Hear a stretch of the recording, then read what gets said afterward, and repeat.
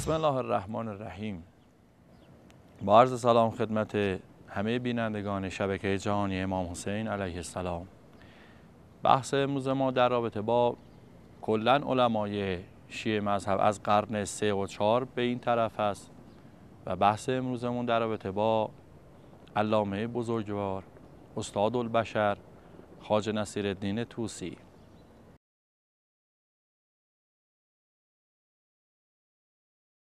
وارد قلعه قهستان میشه. حاکم اونجا شخصی است به نام ناصر الدین ابن ابی منصور شخص دانشمند دوستی علم دوسته و خواجه نصر الدین کلا 26 سال از عمرش رو در قلعه اسماعیلیه به سر می‌بره.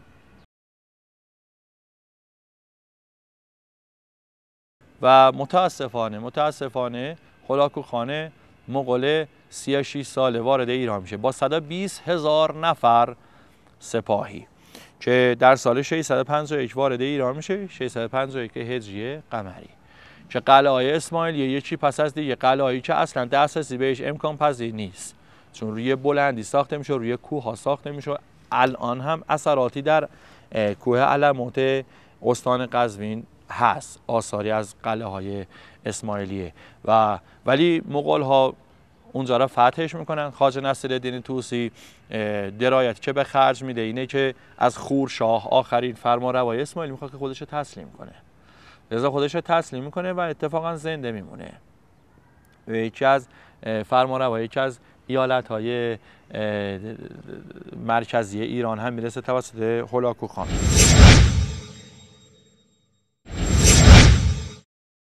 خیلی جالبه که بدونید وقتی منگو قاان به هولاکو خان برادرش هست. میگه که وارد ایران شدی. میگه شخصی هست به نام خواجه نصیرالدین توسی این رو بفرستش مغولستان چون از دانشمندان بسیار استفاده می‌کردن مغول ها این خیلی جالبه. بدونیم که مغول ها دانشمندان ایرانی رو میشناختن و بارسترینشون خواجه نصیرالدین توسیه خواجه نصیرالدین توسی شهرتش عالمگیر شده بود. می‌دونستن که یه همچین شخصیتی تو ایران هست. لذا حالا خان وقتی با خواجه نصیرالدین توسی آشنا شد اون رو پیش خودش نگه داشت و میگیم که چه دلایلی باعث میشه که خواجه نصیرالدین توسی پیش هولاک خان میمونه و بسیاری بسیاری بسیاری از ایرانیان از تیغ مغول ها در امان میمونن. ببینید ما یه بحثی که داریم و خیلی آنی اشتباه رو انجام میدن. در رابطه یه شخصیتی وقتی می‌خوان بحث کنن حرف بزنن نقد و بررسیش کنن در قرن 21 دارن به اون شخصیت نگاه می‌کنن. می‌دونید؟ مثلا ما می‌خوایم در رابطه با خواجه نصیرالدین توسی صحبت کنیم در رابطه با شخصیت های دیگه باید از دید تاریخی باید بریم وارد اون قرن بشیم. وقتی می‌خوایم در رابطه با خواجه نصیرالدین توسی ما صحبت کنیم باید وارد قرن 56 هجری قمری بشیم. یعنی بریم در اون زمان ببینیم چه شرایطی حاکم بر ایران هست. حاکمانش کیان چه شخصیت هایی دارند؟ و اون شخصی که ما اون عالمی که با داریم در ارتباط صحبت کنیم با چه کسانی سر کار داره؟ تو چه دوره‌ای داره زندگی می‌کنه؟ روب و وحشت تا چه حدی هست؟ آیا اگر حرفی زده از چه؟ از استرارش این حرف زده؟ اگر مطلبی نوشته رو چه پایه و اساسی بوده؟ آیا شمشیر رو گردنش بوده با این حرف رو زده؟ اینه که وقتی ما این دید رو پیدا کنیم در رابطه با اشخاص و نفرات که می‌خوایم بحث کنیم انصاف رو به خرج میدیم.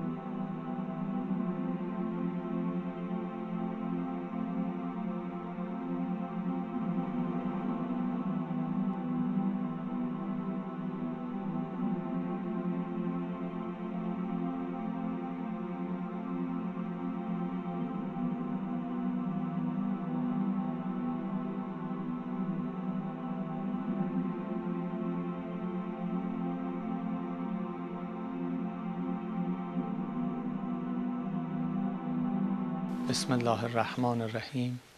الحمد لله رب العالمین و صلی الله علی محمد و آله الطاهرین. در این برنامه به معرفی شخصیت علمی و تعلیفات خاج نصیر الدین توسی خواهیم پرداخت. اساتیدی که خاجه از محضر ایشان استفاده کرده است شیخ وجیه الدین محمد پدر بزرگوار خاجه که علم صرف و نحو و علوم ادبی را در محضر ایشان آموخته. نورالدین علی ابن محمد شیعی از دیگر اساتیدی است که خاجه علم منطق و مبانی علوم عقلی را نزد او آموخته. ریاضیدان معروف آن زمان محمد حاسب از دیگر اساتید خاجه بوده است. خاجه نصیر علم فقه را در محضر معین الدین سالم فرا گرفته و درس خارج فقه و حدیث و رجال را نزد امام سراج الدین فرا گرفته است.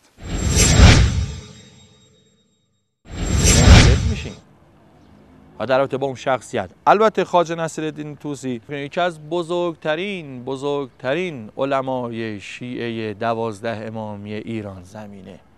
چنانچه بعدا بحثش رو می‌کنیم. بسیاری از دانشمندان مغرب زمین با خواجه نصیر آشنا. رصدخانه مراقعی که خواجه نصیر دین توسی که بحثش می‌کنیم که چه جور میشه می‌سازه. وقتی که این رصدخانه در تپای مراقع ساخته شد تا 300 سال بعدش نظرش در اروپا وجود نداره. ببینید علمای ایران زمین یه همچین شخصیت هایی هستن. ما باید بشناسیمشون. جزء فرهنگ ما هستن. حالا خاج نصیر اضافه بر جزء فرهنگ مذهبی ما هست. اگر اقدامات خاج نصیر ما بشناسیم می‌فهمیم که ایشون چی کار کرده. یه وقت بعضی هم میگن آقا خاج نصیر الدین توسی با هلاکو خانه مغول همراهی کرد. بله چرا این کارو نکنه؟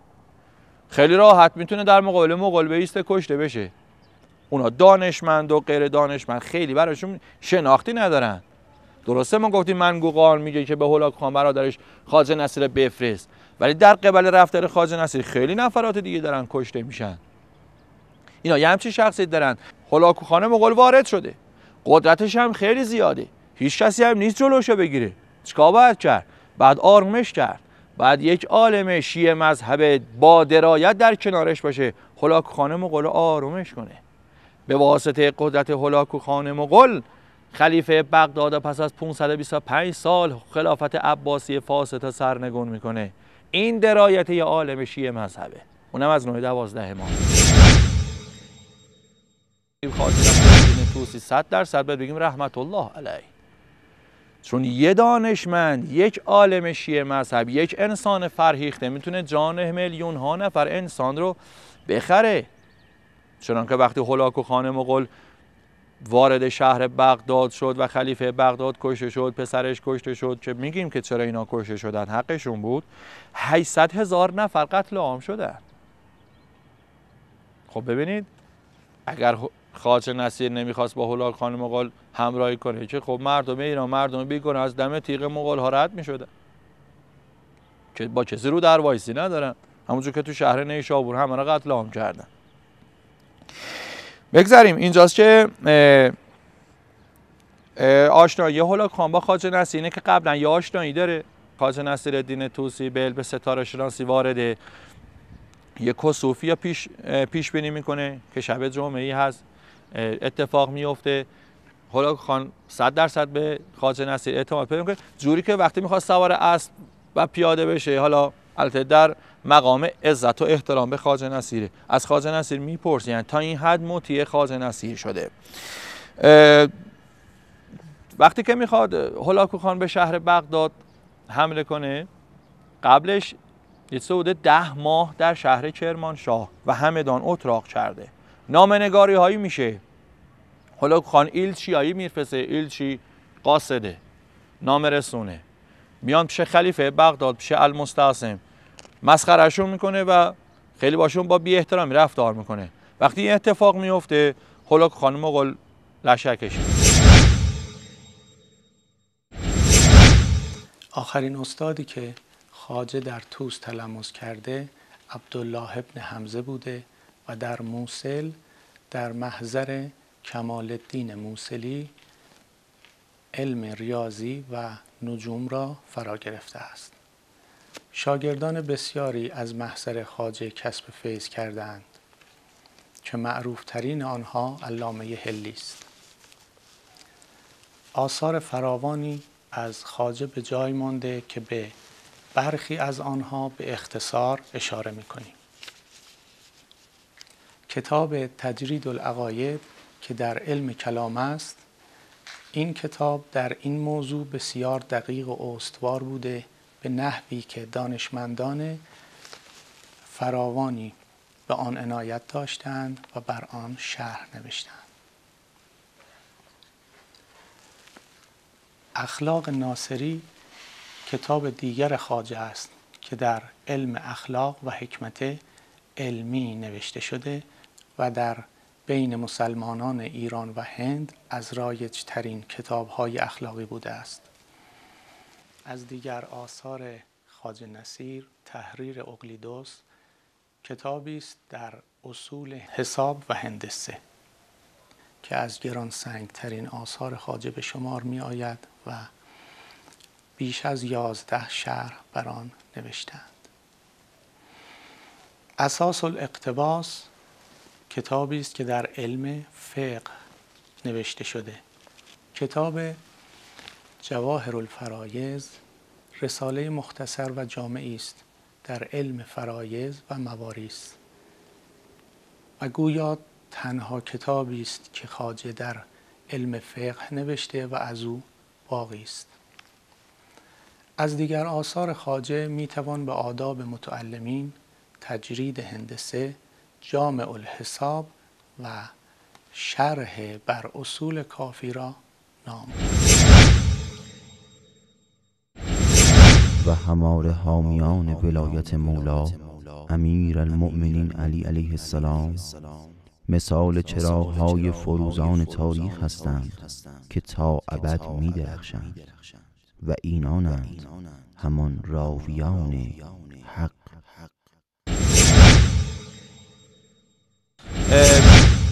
قبل از اینکه هلاک خان بیاد چندی قبل این خلیفه بغداد پسری داره به نام ابو بکر. یه محله شیعه نشینی هست توی بغداد به نام کرخ که از قدیم شیعه نشین بودن شیعه مذهب بودن از نوع دوازده امامی. یه بلوایی به پا میشه و این ابو بکر سو استفاده می‌کنه از این موقع و بسیار از شیعیان این محله را قتل عام می‌کنه. معید دین القمی ابن القمی وزیر المستعصم بالله. از این فرصت استفاده می‌کنه و به مستعصم میگه که بله هلاک خان دختری داره و دوست داره این دختر رو به ازدواج پسر تو ابو بکر بیاره. برای اینکه می‌خواد تلافی کنه اون قتل عام که این ابو بکر انجام داده. و وقتی ابو بکر با دور اطرافیان خودش به بیرون شهر میره که بره برسه به هلاکو خان و مراسم ازدواج با دختر ایشون انجام بشه. اصلا همچه اتفاقی نبوده اصلا هم چیزی نبوده. این فریبه ابن القیم مونده در حق اوبه که تلافی کنه اون قتل عام محله چرخ شیعه نشین بغداد رو. و وقتی که وارد بر اونجا میشه و اوبش خودش رو به عنوان پسر خلیفه بغداد معرفی می‌کنه و از خلیفه بغداد هم چه ذهنیت خوبی پیش هلاک خان نیست اوبش و دور اطرافیانش همه قتل عام میشن. و وقتی که وارد شهر بغداد شدن خب خیلی آکوشش شد در المستسم خودش رو تسلیم می‌کنه و خیلی جالبه این از زبون خود خاجه نصر جزء خاطراتش می نویسه یه کتابی داره به نام فتح نامه در رابطه با فتح شهر بغداده. میگه که مستعصم دستور میده طبق های از طلا و زرمیان می‌ذارن جلوی هلاک خان. هلاک خان میگه اینا چیه؟ میگه اینا پیش کشی برای شماست. بعد هلاک خان به مستعصم میگه که بخور. بخور اینا رو. میگه آقا نمیشه اینا رو خورد که اینا طلا سه نمیشه خورد که. میگه پس چرا اینا رو پیش خودت نگه داشتی؟ می‌خواستی با اینا چی کار کنی؟ اینا رو بین سربازات پخش می‌کردی. اینا رو باش از این دربای آهنین که درست جایی تو قصد اینا رو شمشیر میساختی. پیکان برای تیر کمان درست می‌کردی میدی به سربازات که جلوی منو بگیرن. من نیام تا اینجا. تو حالا اومد اینا رو به من تعارف می‌کنی؟ بعد مستعصم در میاد میگه که خیلی جالبه. میگه این تقدیر خداست. میگه خب تقدیر خدا حالا کانجا میگه خب تقدیر خدا نیست که من الان تو رو میکشمت. تقدیر خداست دیگه. پس تو باید رضایت بدی. بعد اینجا علمای سنی مذهب میگن این خلیفه بغداده. خلیفه خدا بر روی زمینه بلا تشبیه بلا تشبیه بلا تشبیه از بقیت الله. این خلیفه است. اگه خلیفه رو بکشین خدا قهر و غضب می‌کنه. نمی‌دونم اسبانتون میمیرند سربازات مریض میشن خودت هم سال آخر عمرته خلاصه میترسونندش. اینم بگم مغول ها قبل از اینکه دین دین قبول کنن حتی یه عده از مغول ها در مغولستان مسیحی هستن ولی عده بسیارشون شمن پرستن قبلا ما توضیح شده تو برنامه گذشته شبکه جهانی امام حسین علیه السلام. ولی اینا شمن پرستن مظاهر طبیعی میپرسته سائقه می‌زنه یه عده اعتقاد می‌کنن سائقه خداست. یه عده خورشید. یه عده درخت یه عده حیوانات مختلف رو میپرستن. لذا خیلی خرافه پرستن مغول ها کلا. اینه که وقتی که صحبت بشه که آقا این خلیفه با بقیه آدم فرق داره اگه کشتیش اتفاقات خیلی خاصی میفته اینجا خازن نصیر دینه توسی خیلی جالبه. میگه که ببخشید متوکل توسط متوکلی که از خلفای بنی عباسه. توسط پسرش کشته شد هیچ اتفاقی نیفتاد. امین خلیفه عباسی توسط طاهر سردار معمون کشته شد. هیچ اتفاقی تو عالم نیفتاد؟ این هم هیچ اتفاقی نمیفته اگه بکشیمش. میگه نه خلیفه خونش نباید روی زمین ریخته بشه. اگه خونش روی زمین ریخته بشه زمین به جوشش در میاد و زلزله میشه و همه انسان ها میمیرن. و اینجا خواجه نصیر توسی ببینید خیلی جالبه. 525 سال عباسیان حکومت کردن. یه حکومت به شدت فاسد. یه حکومت که بسیاری از ائمه ما در زمان خلفای بنی عباس کشته شدن. از امام جعفر صادق به این طرف. همه در زمان حکومت بنی عباس کشته شدن به شهادت رسیدن اینه که یه حکومتیه که روی مردم بسیاری از مردم ایران کشته شدن در محجوریت خیلی خاصی قرار گرفتن. یه دوره ای ما داریم که حکومت شیعه مذهب آل بویه در دل خلافت بنی عباس قدرت پیدا می‌کنه و علمای بزرگ چون شیخ صدوقی پدیدار میشن تو تو سایه آرامش که آل بویه ایجاد می‌کنن. ولی کلا حکومت فاسدیه حکومت ناحقیه. و اینجاست که خواجه نصرالدین توسی میگه خب مسئله ای نداره ما جوری این آقا می‌کشیم که خونش هم رو زمین ریخته نشه. و اگر در حین کشه شدنش اتفاق افتاد ما دست نگه میداریم. اینه که از یه گروه از این شخصیت هایی که نمد مال هستن فرش نمدی رو زیر پاشون میمالن که فرش درست بشه. خلیفه رو بین این فرش میخوابونن و اونقدر لای این فرش ضربه بهش وارد می‌کنن که از دنیا میره و حکومت بنی عباس در سال 656 هجری قمری به دست هلاک خانه مغول و با درایت خاصی نصیرالدین توسی سفرشون برچیده میشه. بله پس از فتح بغداد حکومت بنی عباس عمرش به پایان رسید. یه آرامشی حاکم شد. شخصیت هایی مثل ابن القیمی بخشیده شدن. خاجه عطا ملک جوینی بخشیده شد. ابن ابل حدید شارع نهج البلاغه می‌خواستند بکشندش. خاجه نصرالدین توسی جلوگیری کرد ازش دفاع کرد بخشیده شدن اینها. بسیاری از دانشمندان به واسطه نفوذی که خاجه نصیر داشت بخشیده شدند یک سال پس از فتح بغداد ساخت رصدخانه مراغه شروع میشه. خیلی جالبه خیلی جالبه که خاجه نصیر به هلاک خانه مقول میگه که ما می‌خوایم یه رصدخونه بسازیم. هلاک خانه میگه رصدخونه چیه؟ میگه که علم ستاره شناسیه. خیلی ها میگن آقا این چون همیشه این کسانی که سعایت می‌کنن سخنچنی می‌کنن دوست دارن بین افراد بن همیشه طول تاریخ بودن. یه دبیان به هلاک خانه مقال میگن که آقا این می‌خواد پولای تو رو از بین ببره و محلش نزار. این درسته آدمه. قشنگ صحبت می‌کنه دانشمنده ولی هر از گاهی حرف بی خودی هم می‌زنه حرف علکی می‌زنه. خواجه نصیر به هلاک خانه میگه می‌خوای چیکار میگه نه آقا من پول برای این کار نمیدم